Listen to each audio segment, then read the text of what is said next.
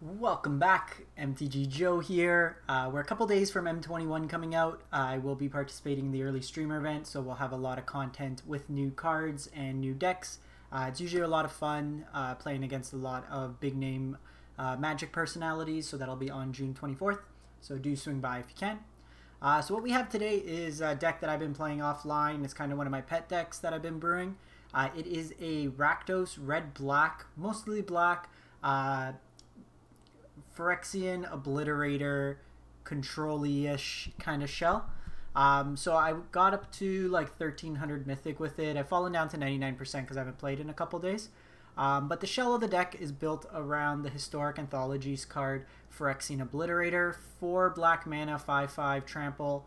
Uh, whenever a source deals damage to Phyrexian Obliterator, that source's controller sacrifices that many permanents, meaning your opponents generally don't want to attack into this or block with this.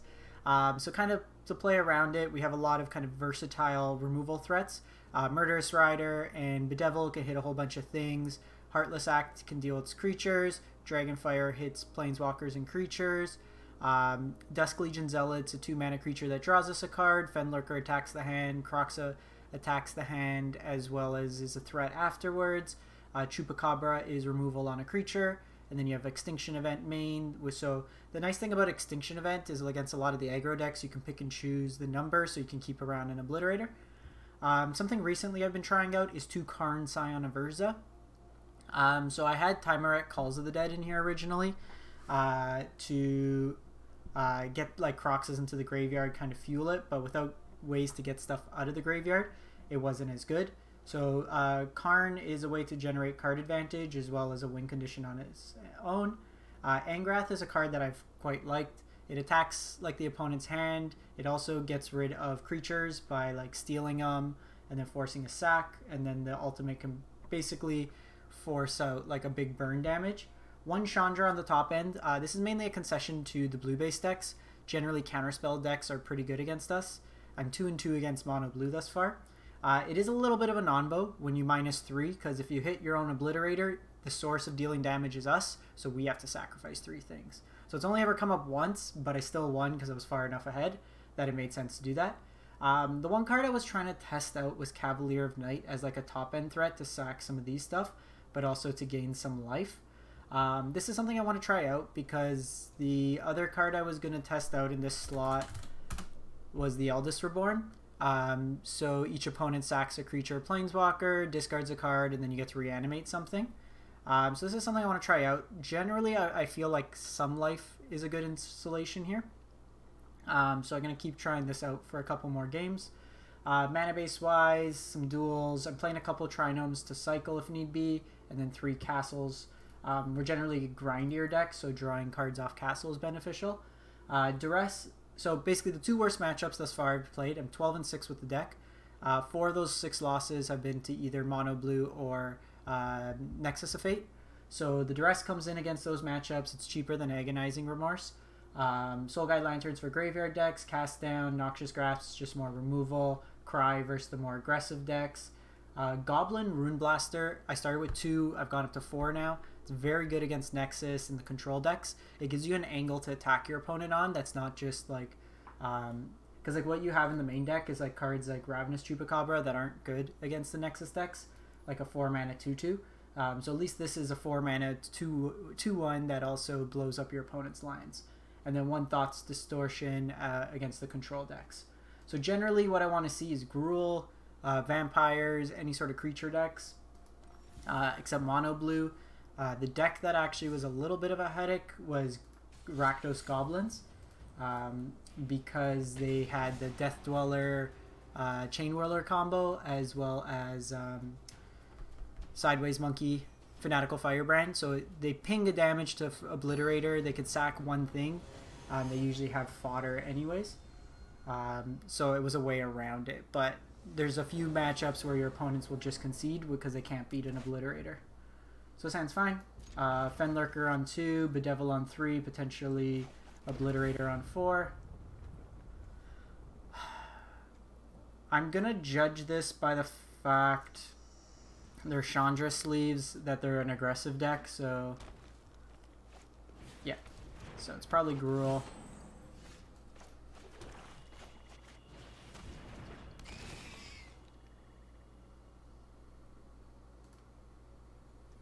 So Crocs is generally not that good in the aggressive decks. Let's see what the opponent forced. Okay, so it is Gruul. So we need to make a decision here with turn three. Oh, we take that trade. Oh yeah, now we we're in a good spot. If the opponent wants to trade away their mana dork,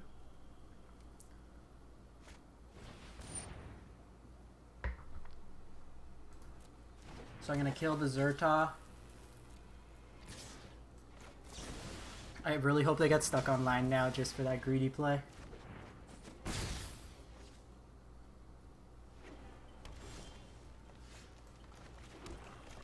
So this is usually the part. So the one way they could kind of get around this is with um, Embercleave and um, Questing Beast.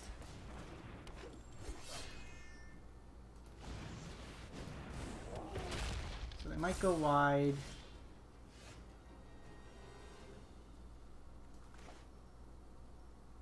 So this is a chance to do odd.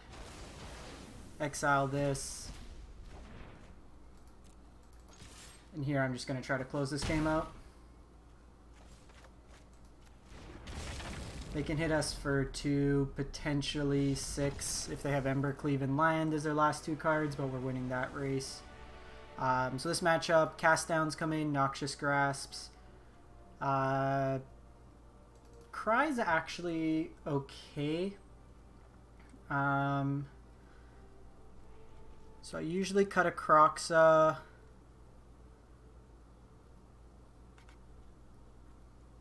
Cut the Karns. Cut the Angraths. So Angrath's okay because it could steal stuff, but it's a little bit slow overall. I just really want to maximize on removal and then go from there. Um, yeah, we'll go from that. So that turn could have been a little awkward if we didn't draw Extinction Event. Um, so they can go pretty wide and then Embercleave something else. Um, but as long as you have Obliterator, it's pretty good insurance policy. I think we mulligan this. Okay, sounds fine. Um,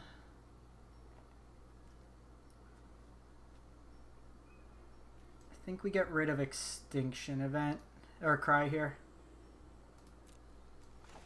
Extinction Event's more flexible, because even if they go like Zhur-Taa, if we were on the play I would have kept the Cry.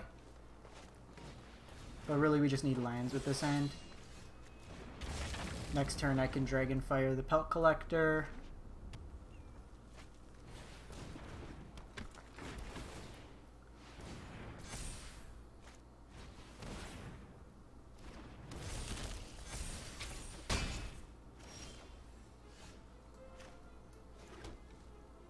I'm just going to do this now, in case they have some sort of pump effect.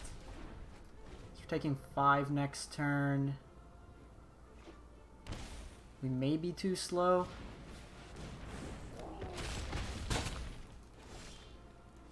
Heartless Act pretty good. We still need a land.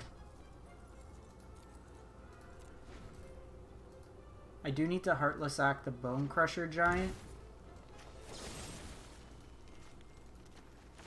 Because that plays better with Extinction Event, being able to wipe these out. But they might just still have Embercleave here. Land one time.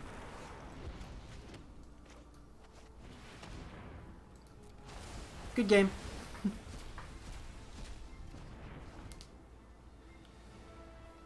Should be enough. They could haste this in. Ooh, and Gallia.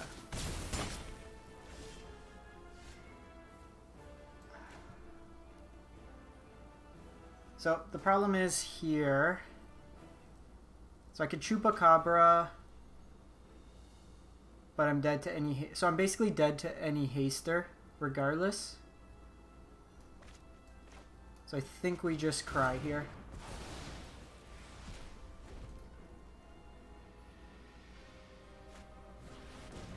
That's a problem. Okay, nope, so they got us. Had the removal. The Phoenix is going to be difficult to deal with.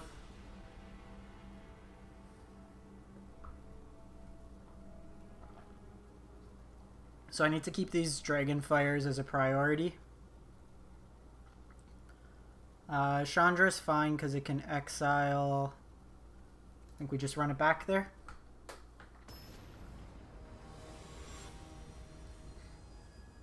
They literally top deck the worst card.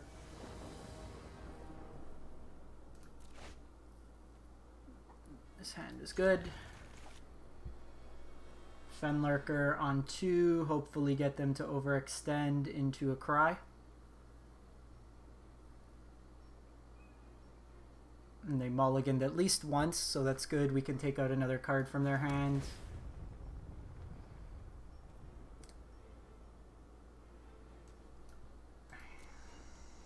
I don't think we want a 6-drop just yet. We don't have the game kind of wrapped up.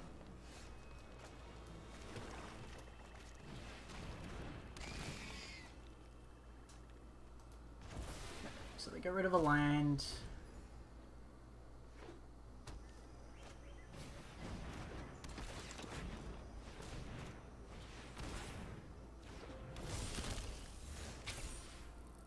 Um,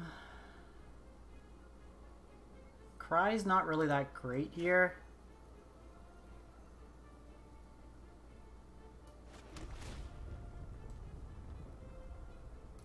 I think we just do this.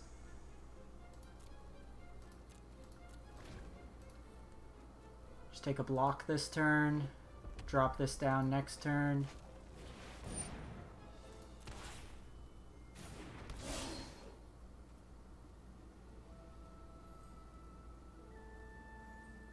Hmm. Do I want to kill that.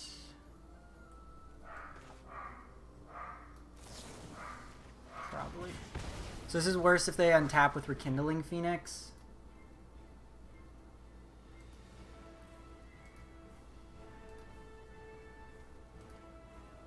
They have two cards left.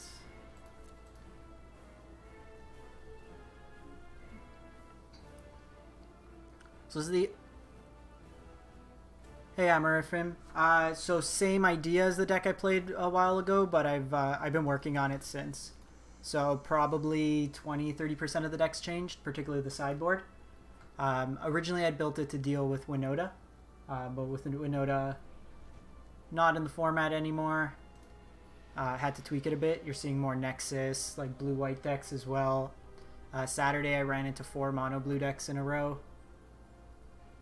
Alright, did the opponent time out? Did we time out? What's happening? Hmm. I think we just take the damage here.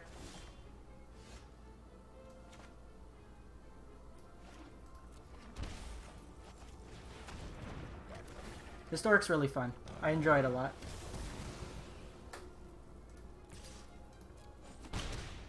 I'm gonna take the uh, the trade here if they want to attack. This could be like questing beast, Pelt Collector.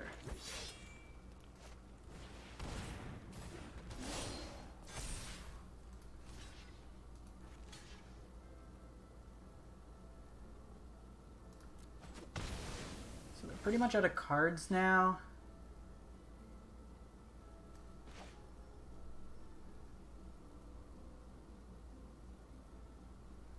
So Heartless Act's a little awkward here. So I think we just do this.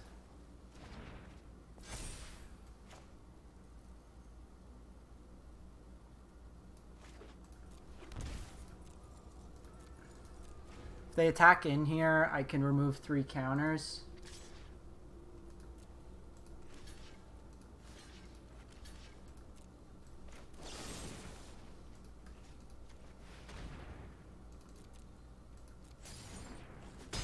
Trade with it there.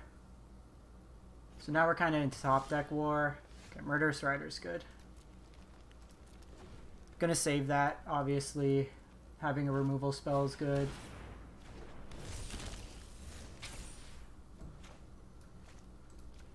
Just gonna do this now so I can play this out next turn, start attacking in, insulating my life total.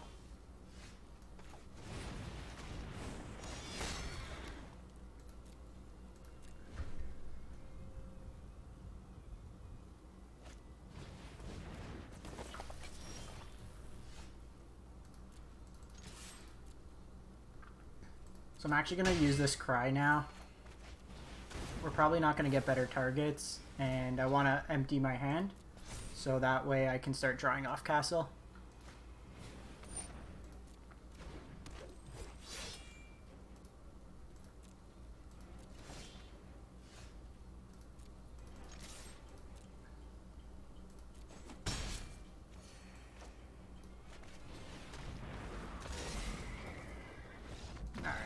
So Cavalier Knight locks it up there. Back into the numbers, 1300. So we saw there, like, other than the Phoenix, uh, I had Eat Extinction in the deck at one point, but I ended up lowering uh, some of the removal curve down a bit. Maybe we want another Exile effect instead of the cast down.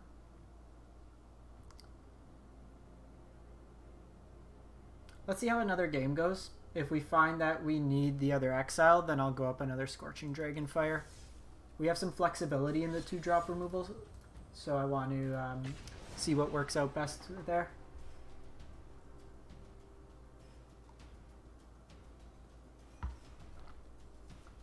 But basically with our deck, what we do is we just kill everything and then eventually escape a Kroxa back might have made sense on the play to still have Kroxa in. It's just it's a bad play on two against Gruul because where they're going like Burning Tree, Burning Tree, Zhur-Taa, and we're just like discard a card, no board presence.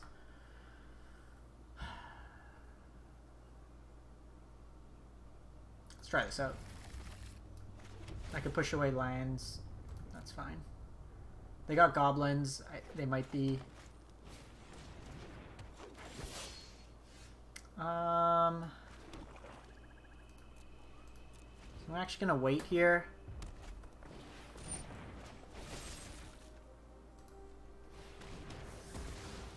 Kill it. Then if I don't hit something next turn, then I have the Kroxa. Okay, so we have Dragonfire.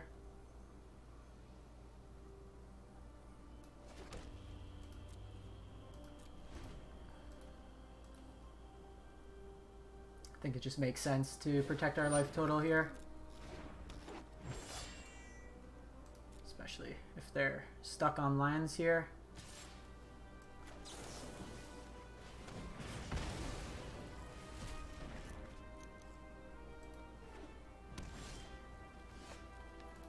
Well, let's see how the opponent can deal with this. Don't particularly want to kill this right now. I want them to commit more to the board.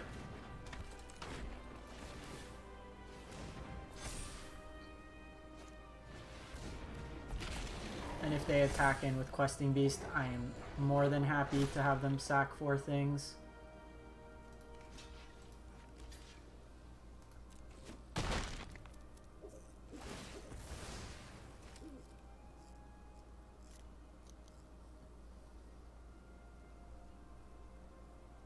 Especially a opponent on a mulligan.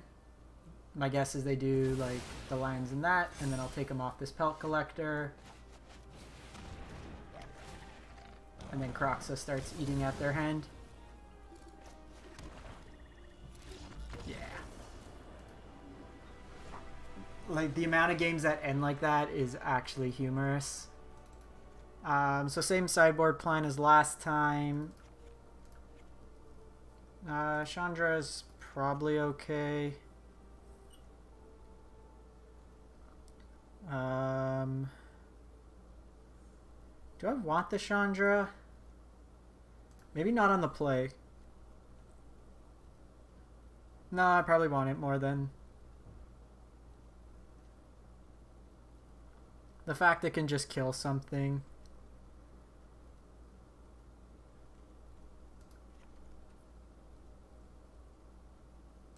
Let's do that.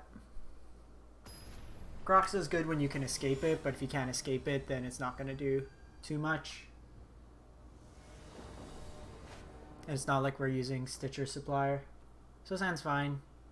It's a little awkward with the mana base, so we do want to find an untapped land, but we're just trying to dig to this extinction event. That's perfect. That lets me Fenlurker. So I'm going to prioritize Fenlurker to go after their hand, especially if they drop some Burning Tree stuff here.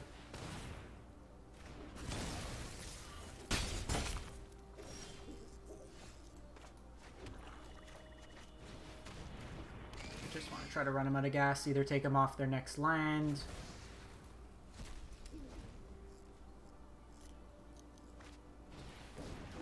Gallia's pretty good. Lets them refill their hand here. they opt to not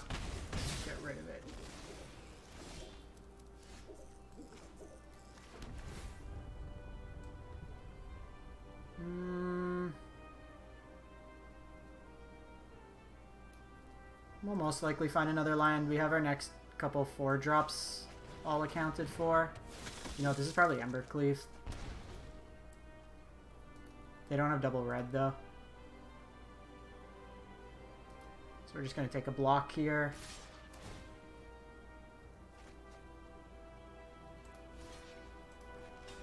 So actually going to do this. And then Extinction Event their board.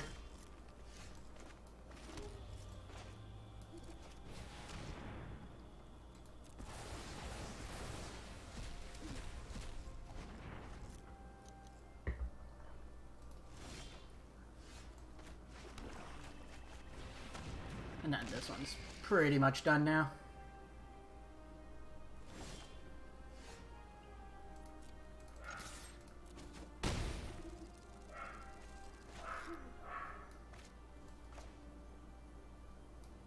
I'm just gonna bring out Cavalier Knight. I'm gonna decline.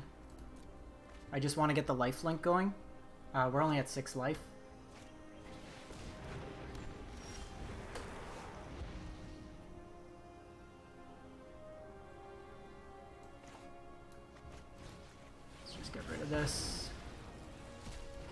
We're seeing more of Gruul playing this, so I think I want my removal in the sideboard to be exile-based.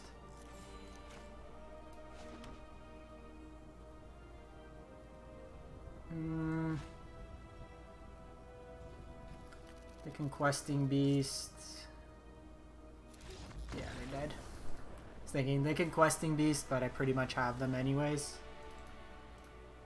Into the 900s.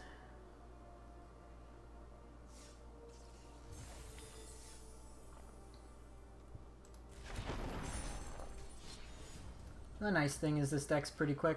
Actually, let me give Arena a quick reset. And then we'll fire it up again. It's been relatively good. But uh, just don't want any sort of lag. So you can see in those games there, like when we're playing Gruul, the deck just kind of smashes. Let's make that change and put in the one piece of Exile. Instead of the cast down. Actually, Vraska's Contempt is a card. And it gains us 2 life.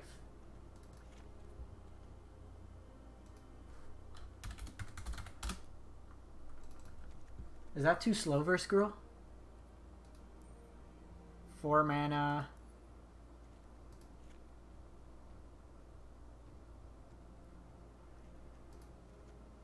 Maybe we do this and then go Scorching Dragonfire or just cast down. Uh, BDAF. Uh, so it's kind of hard to say if this is the best Obliterator deck because I haven't seen too many other Obliterator decks per se. Um,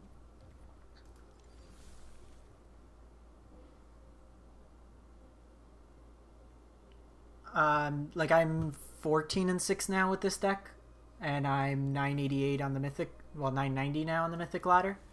Um, Grixis. Grixis is always tough. I was I was doing okay with this version of Grixis in Standard. um, just like Kroxa, Lazav, and then kind of being a more proactive. I like the flexibility of the removal. Um, hard to say. Uh, I'll probably end up playing. Like I have. One sec. What do I have for? I'll probably be playing all of these or as close as to all of these during the early streamer event on Wednesday. So I got like is it Tempo, Dimir Control, Rakdos Control, Selesnya, Counters, Temur Draw 2, Zoria's Blink, Cats, Ugin, Life Gain. I have a couple Ugin decks, Gruul. Could probably try Grixis as well. Any excuse to run Nicol Bolas. Um, so yeah, what we did is let's test out these changes to the sideboard to Vraska's Contempt. Yeah, you might as well just wait for Fabled Passage. Like, I'm not even playing them in this deck here, partially just because it's a base black deck. All my red sources come from dual lands. Uh, let's fire this up.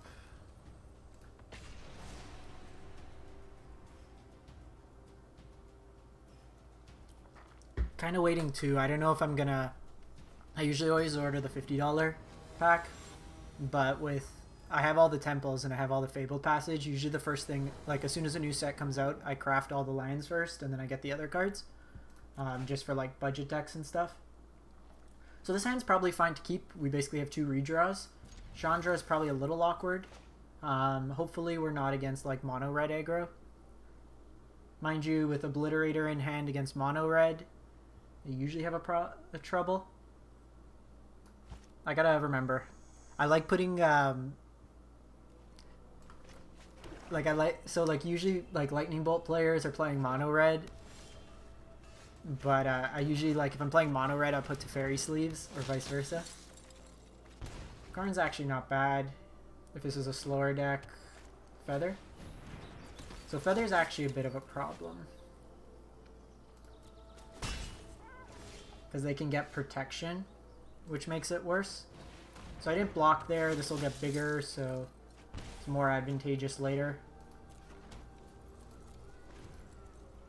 So if they just go like feather this turn, I'll Chupacabra it.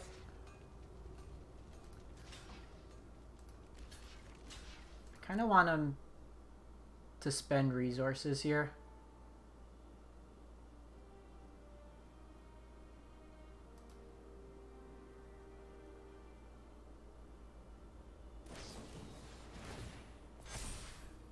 Fight as one. Okay, so that's definitely something we need to play around. Okay, I got a Danto.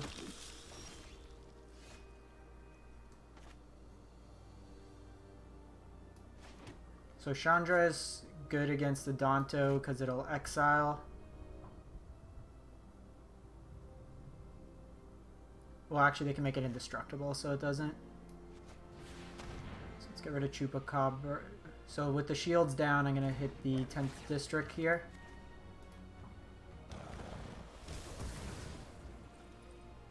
And then next turn's probably Obliterator.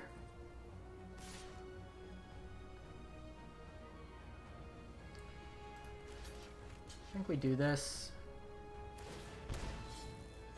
Basically want to force their life where this eventually is not profitable.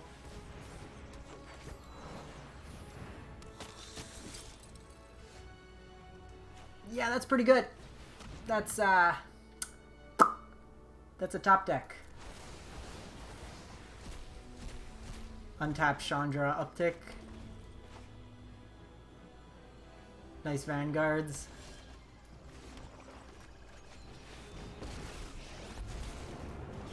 Their hand's probably all protection spells now. So remember, if you minus your Chandra, uh, minus 3, it deals 3 damage to Obliterator, you do have to sack. Okay, so those are all coming in. In this matchup, Angrath's actually pretty good. I'm going to get rid of Chandra. Like, it's a little too high on curve. Um, Fenlurker's fine. Kind of tempted to get rid of Crocs. Actually, Karn's pretty bad. Because, like, here they can make a big thing. I can steal it and then sack it. It's also another way Round. Kind of want the cheap one, so maybe trim a Kroxa.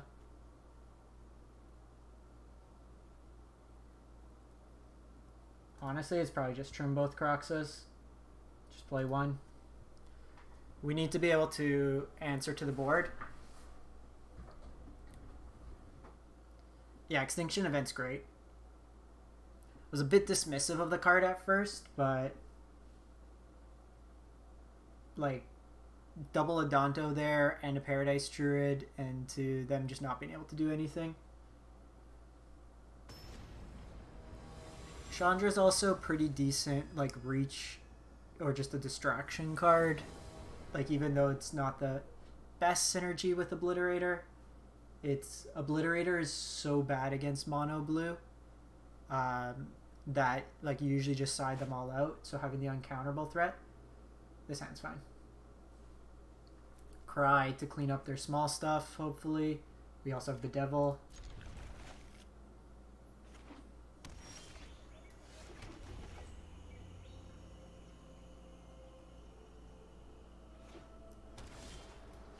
That's actually great for us that they didn't play anything out yet. They have the awkward mana base situation. If they play Adanto Vanguard, I will one for one cry them.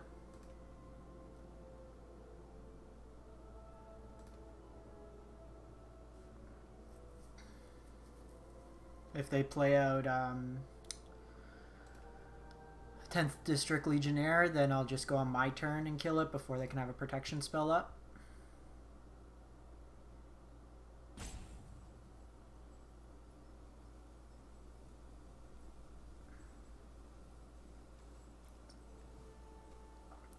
One thing with this deck because you're playing both a mix. It's not like the Winota deck where you can play um, Ancient Ziggurat. You have a lot of like protection spells or like instants that make it harder to play Ziggurat.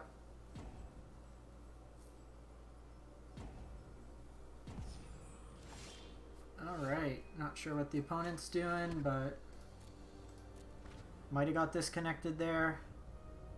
The Devil's actually really good too. Just the flexibility I really like of these cards. We have like 3 mana removal that can hit a lot of things. So ideally here, I think they got it. They got timed out.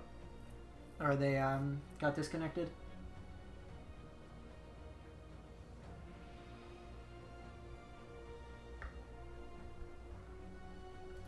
The card, I, so I want to try the new Liliana in this deck um, instead of the Karns. Uh, so Liliana fuels our own escape. We can discard our own Kroxa, its removal, as well as an ultimate that can threaten. We're killing a lot of things. I've also really liked Angrath. It's somewhat underplayed. If we were splashing blue, then I'd be playing um, like Nicol Bolas in this slot. The one thing is like we can lose a little to card advantage, like attrition based. Yeah, opponent disconnected here.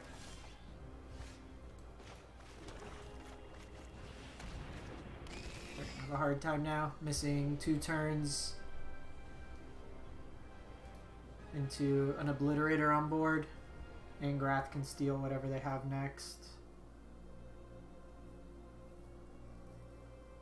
So this should probably put us into like 700 on the ladder now try to finish up this month in uh, top 1200 range.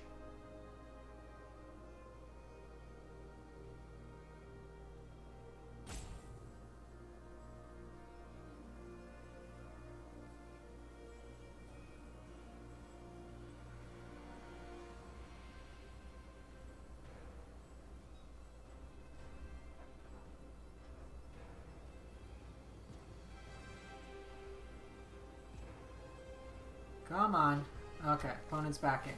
They go Paradise Druid.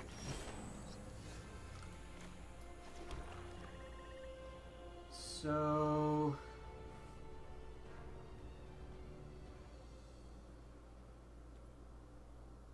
I think what we do here... Attack... Probably just gonna cry Carnarium here. take them off mana.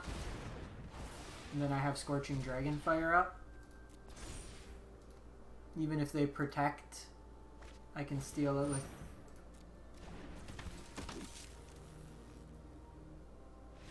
Yeah.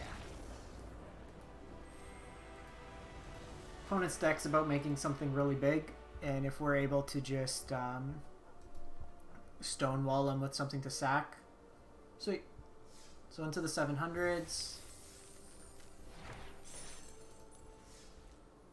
Deck continues to impress. So I do like those changes. The Exile seems really good. Um, it could be, but it depends if they get under us. If because like Reckless Rage isn't that good against us, so they don't really have a clean way of answering Obliterator. Um, and then post board we bring in all this Exile, so Vanguard's not that great. Um, like that game, I'd be interested to see because they were on the play. Um, they kind of timed out and didn't really present a clock with their mana base. But um, like everything that we have pretty much kills or draws a card or hits at their hand, if not doing multiple things.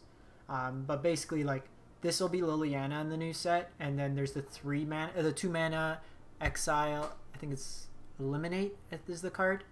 Uh, the two mana exile target creature or planeswalker with three CMC or less. So that'll slot in as well into this deck, and then we have just like two mana kill to fairy, two mana kill any small thing, and then we just scale up to that. Um, not 100% sold on Chandra. I like the can't be countered, but may like Cavalier was actually okay. Like in these games, uh, we did run into Gruul a lot, so the life gain was relevant. Um, but there's like along the edges, like this shell I'm very happy with this. And Angrath, like these are the the flex slots I'd say that I'll keep trying out. All right, so I'm gonna wrap up this deck. Um, I'm gonna tr- t- uh, demo another deck that I've been working on, um, and then we can run a couple games with that. So I'm just gonna wrap up this uh, segment, and then we'll pop into the next deck.